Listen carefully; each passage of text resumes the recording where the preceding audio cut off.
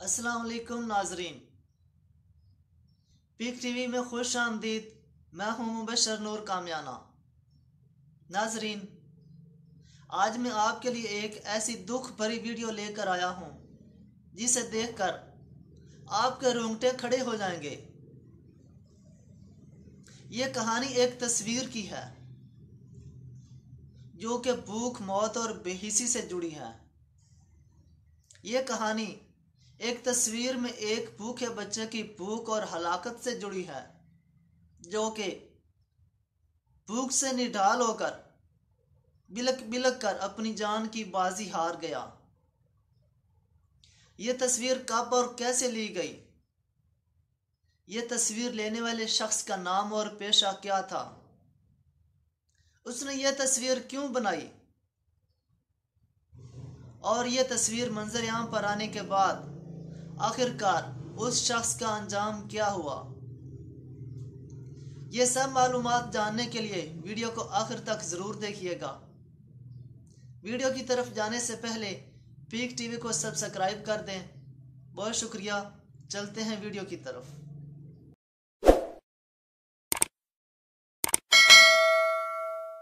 नाजरीन, जहाँ अब साइंस, टेक्नोलॉजी और जदीद और आ चुका, वहाँ गुमराही भी फैल चुकी। हर इंसान अपनी ज़िंदगी में इस कदर मसरूफ़ और मशगूल है कि उसको किसी दूसरे भूखे प्यास से ज़रूरतमंद और मोहताज इंसान का एहसास ही नहीं रहा। आज का इंसान एक दूसरे की खबरगिरी से गाफिल हो चुका। एक इंसान को किसी दूसरे इंसान की परवाह ही नहीं रही। बेबसी और बेहिसी उरूज पा चुकी। हर इंसान सिर्फ़ अपनी ही ज़ात में गुम है। और अपने ही फ़ायदे की खातर दूसरों से ताल्लुक़ इस्तवार रखता है। वगरना नहीं। बस, जहाँ इंसान को फ़ायदा नज़र आए, वहाँ चल दिया। अगर कोई इंसान भूख प्यास से बिलक रहा हो, उसकी कोई परवाह नहीं। बस, अपने पेट से गर्ज है आज के इंसान को।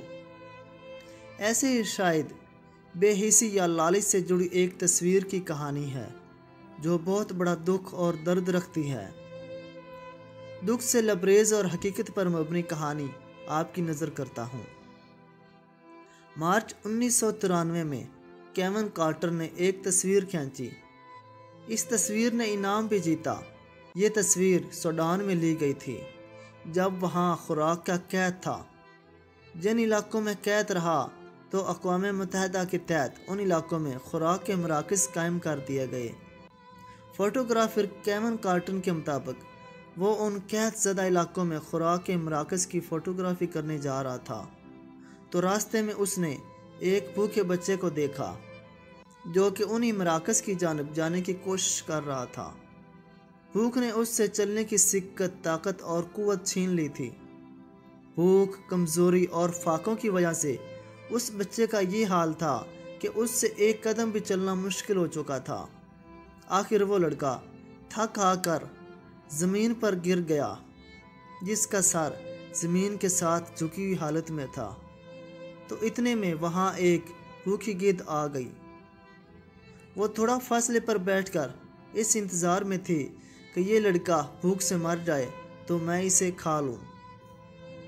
उसी इसना वहाँ से फोटोग्राफर कैमन कार्टर का गुजर हुआ तो वो भी भूखे गिद्ध और भूखे बच्चे का मंजर देखने लग गया।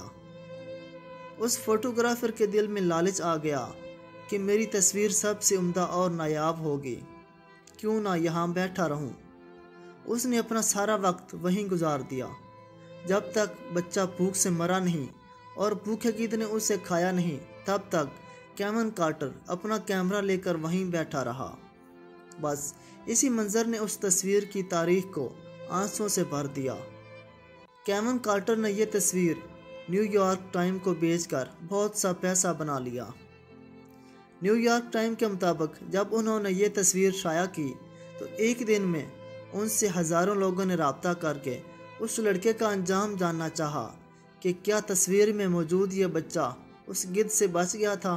लेकिन उस वक्त न्यूयॉर्क टाइम वाले खुद उसके अंजाम से बेखबर थे तो वो आवाम को उस बारे कोई भी मालूम ना दे सके। तो बात यही ख़त्म नहीं होती। फ़ोटोग्राफ़र केवन कार्टर जिसने ये सारा मंज़र कैमरे में कैद किया था, उस तस्वीर के बाद अक्सर उदास रहने लग गया और बिलाखिर वो डिप्रेशन का मरीज़ बन गया। और आखिरकार उस तस्वीर में मौजूद मंजर ने उस फोटोग्राफर को अपनी जान लेने पर मजबूर कर दिया। कैमन कार्टर ने तैंतीस साल की उम्र में खुदकुशी कर ली। उसकी खुदकुशी का तरीका भी बहुत अजीब था। वो अपने घर के पास वाले उस मैदान में गया जहाँ वो बचपन में खेलता था। उसने अपनी कार के साइलेंसर में एक ट्यूब फिक्स करके उस ट्यूब को ड्राइविंग सीट वाली खिड़की से कार के अंदर ले आया। तमाम खिड़कियाँ तमाम दरवाजे लॉक कर दिए और गाड़ी स्टार्ट कर दी। गाड़ी में साइलेंसर से निकलता हुआ धुआँ भरना शुरू हो गया। चूँकि धुएँ में कार्बन मोनोऑक्साइड होती है, जो कि जानलेवा होती है। इसी कार्बन मोनोऑक्साइड ने कैमन कार्टन की जान ले ली। कुछ लोगों के मुताबिक उसकी मौत की वजह उसके ज़मीर की खलश थी, जो उसे दिन रात सोने नहीं देती थी। जब उसे तस्वीर खींचने के बाद इनाम दिया गया तो बहुत सी तंजीमों ने उस पर शदीद इतराज़ात किए थे। लोग उससे पूछते थे, उसने तस्वीर तो बना ली, मगर उस बेबस बच्चे को बचाने के लिए वो इकदाम क्यों ना उठाया? वो चाहता तो उसे बचा भी सकता था, मगर उसने ऐसा क्यों ना किया? क्योंकि उस वक्त उसके पास इस सवाल का कोई जवाब नहीं था। अगर उसने बच्चे की ज़िंदगी बचाने की खातर कुछ किया होता तो यकीनन अपनी ज़ुबान खोलता। बस वो खामोश रहा। अलबत्ता, उसे उस बच्चे से ज़्यादा अपने फ़ोटोग्राफी के पेशे से प्यार था। बस यही सोच और ख्याल उसे रात पर सताते रहे। वो चैन की नींद ही सो सकता था, क्योंकि उसी तस्वीर ने उसे दुनिया में शोहरत दी और वही तस्वीर उसकी जहनी परेशानी का सबब बनी और बिलाकर वही तस्वीर उसकी खुदकुशी की वजह बन गई। खुदकुशी करने से पहले कैमन कार्टर ने जो तहरीर छोड़ी, उसका एक हिस्सा ये भी था, दर्द, भूख और फाकों से मरते बच्चों की लाशों का मुझ पे साया है, जो मुझे सोने नहीं देता था। नाजरीन, ये तो थी कहानी एक तस्वीर की, जो आप सुन चुके। अब उस कहानी से हमें बेहिसाब सबक मिलते हैं, जो इसी तरह के वाक़ात से भरे पड़े हैं। हमें अपनी ज़िंदगी और जो बखिया रह गई है, उस पर बहुत गहरी नज़र डालने की अशद ज़रूरत है। हमने अपनी गुजरी ज़िंदगी में किस मुकाम पर बेहिसी का मुजाहरा किया? और कहाँ, किसकी बेबसी पर खामोश भी रहे? हमें अपनी बकिया ज़िंदगी किस अंदाज से गुजारनी है? बेहस, मुर्दा और बेज़मीर होकर या दूसरों की ज़िंदियाँ महफूज करके। लिहाजा, अल्लाह और रसूल की खुशनुदी हासिल करके इस दुनिया में अपना नेक नाम छोड़ जाएँ। यही इंसानियत की मेराज है, और इंसानियत तो उन्स का नाम है। अगर उन्स नहीं तो इंसानियत कहाँ? लेकिन ज़िंदगी का सबसे बड़ा सच तो ये है कि इस फ़ानी दुनिया पर ना कि हमेशा रहा है और ना कि हमेशा रहेगा। मगर कामयाबी उसी को कहते हैं कि इंसान दुनिया में नेक नाम छोड़ जाए और हकीकी इंसान भी वही है जिसके जिगर में दूसरों का दुख दर्द मौजूद हो। लिहाजा इंसान को खुदा की पैदा करदा मखलूक़ का एहसास करना चाहिए। ज़माना फिर मुंतज़र है नई शराजा बंदी का। बहुत हो चुकी अजाई हस्ती की परेशानी। अल्लाह हाफिज़।